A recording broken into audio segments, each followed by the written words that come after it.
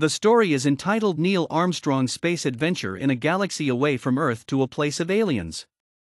As observed in a galaxy far away from Earth, Neil Armstrong, an astronaut with the help of the Space Shuttle and spacecraft, visited the Moon for the first time.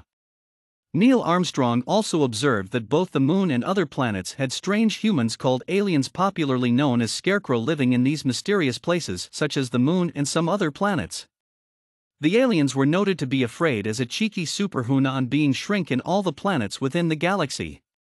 The aliens were also noted and known as gremlins in other parts of the world.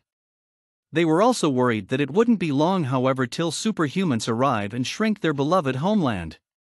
They searched almost both high and low looking for some help, they even resulted in traveling to the planet Earth as noted that it is believed that only humans would be able to help them.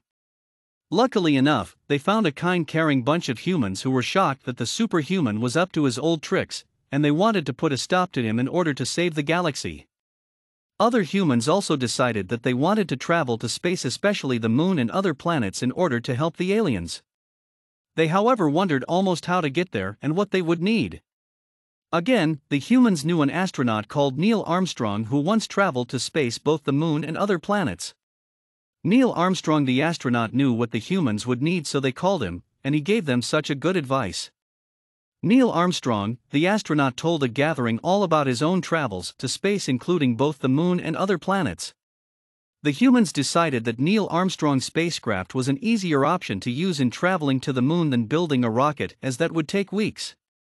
They again got to work and within hours had their traveling devices ready to travel to space, especially the moon and some other planets. As noted before, they could take off in their spacecrafts, they decided to stop off at the space station as William Smith had told them that Eddie Murphy, his friend, had told him some other information about what actual trouble superhumans were causing in space. The astronaut, including William Smith, traveled on a train to the space station, where they were being greeted by Eddie Murphy as a respectful gesture always undertaken. Eddie Murphy also told them that his satellite had recorded the mischief that superhumans were up to, and he could see the aliens almost fleeing from their planet and the moon in search of some sort of help, so that humans' visit is of no surprise to them at all. Eddie Murphy gave the humans some extra power to fly their spacecrafts and space shuttle into orbit. Again, it wasn't long until all other humans were dressed in their space suits and almost sat comfortably in their spacecraft and space shuttle. Eddie Murphy, also an astronaut by profession, announced the countdown 1, 2, 3, 4 to maximum 10 and then blast off upwards. Also, whilst in the spacecraft and space shuttle, the humans clung on tightly as they had never ever felt a power like this before in their life. They also zoomed out of the Earth atmosphere and were observed and seen entirely in space. The humans also chanted, We are going on an expedition hunt where we are going to find a cheeky one in life. As noted after many hours spotted experiencing noises and disturbances it must other planets and the moon where the aliens live thought the humans. They also aimed and decided to travel to the planet and the moon. They then traveled in the spacecraft and landed on the moon and other planets were discovered with their very own eyes that aliens were living both on the moon and other planets.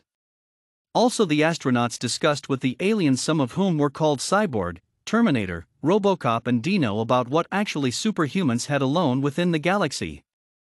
However, what superhumans had done actually in the galaxy is the aspect of invention and innovation in producing more technology. Others believed that it was the alien cyborg who helped in producing ammunition and guns that citizens use in harming and killing themselves. Cyborg is an immortal alien, so after his invention of guns and ammunition all over the world, he never considered the side effects to humans, but instead the result of what that particular gun or ammunition can actually do to all humans all over the world. The astronaut saw almost three flashes blast past them that includes a green one, red one, and a blue one. Also, the astronaut wife of Neil Armstrong made some attention to Space News Report, and she realized her husband with some other astronauts were in space visiting the moon and other planets. His wife was very excited and amazed because she knows that her husband was going to bring back to their home country fame and wealth amounting to a huge sum of $1 million, which is taken and deposited into bank vaults to raise interest. Other aliens and averages were spotted flying overhead on the moon and other planets, and they were noted to be very smart. Again, the perfect time thought these humans whether they could contact these aliens and other averages.